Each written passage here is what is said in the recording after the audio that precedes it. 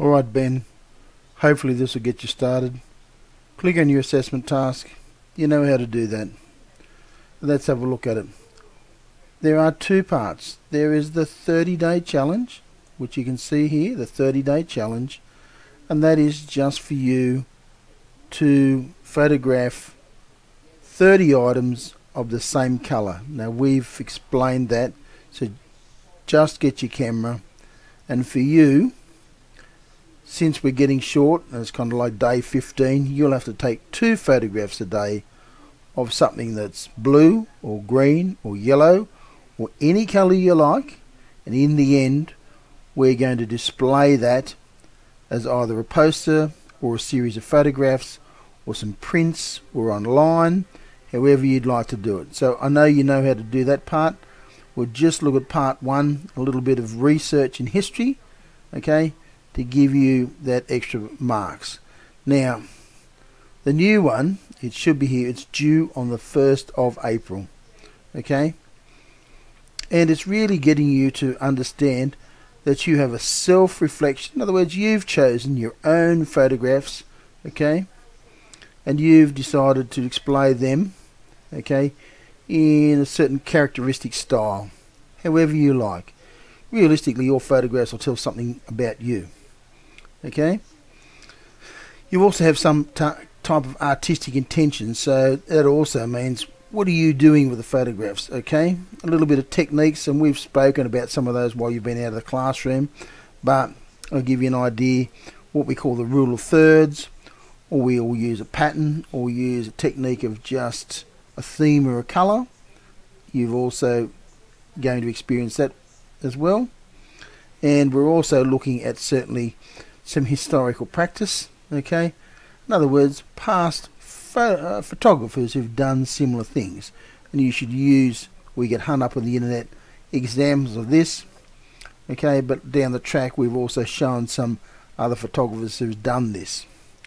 Let's skip to the more important part. So I would, okay, make a PowerPoint, and you know how to do that. You click on your PowerPoint, and you're going to choose one of these styles, okay? So let's just say I'm going to tell you, try and pick this one okay? That's gelatin silver prints. This is about how someone in the old days produced photographs.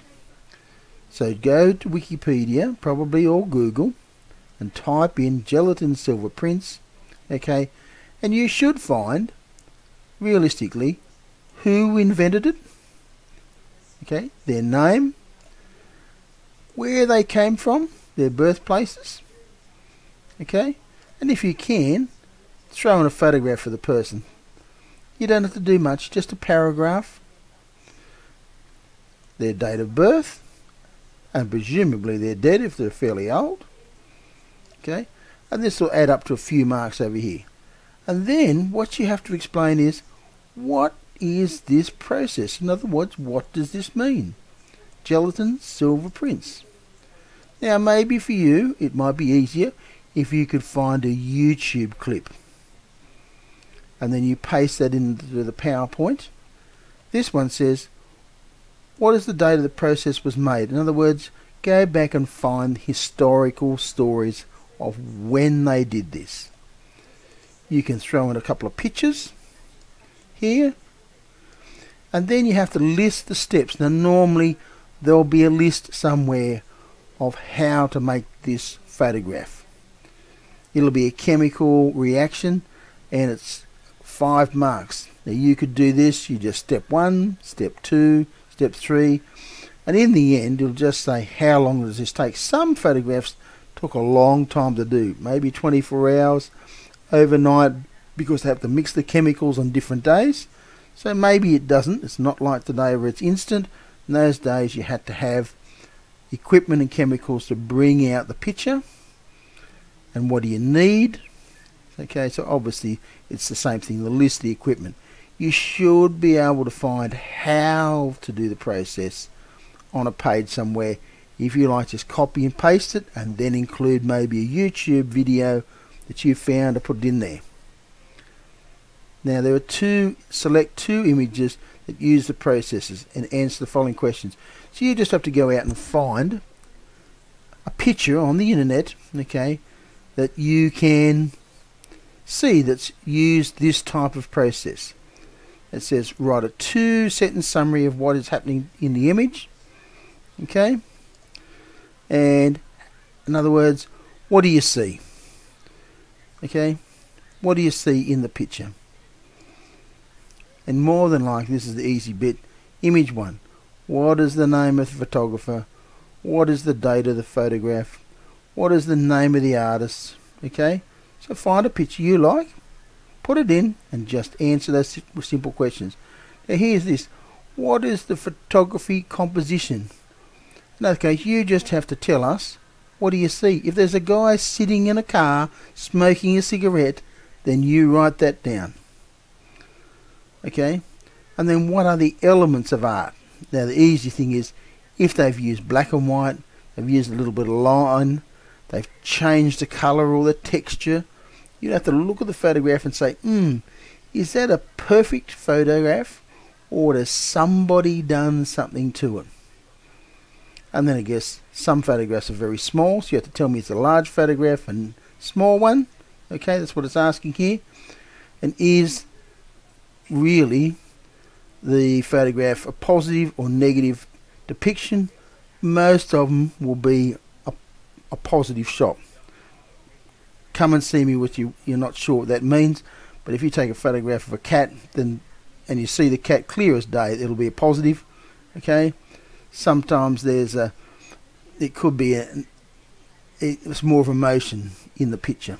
So the last one's worth one mark. Okay. What is it really expressing? Is it happiness, joy, whatever? Okay, down to the red bit.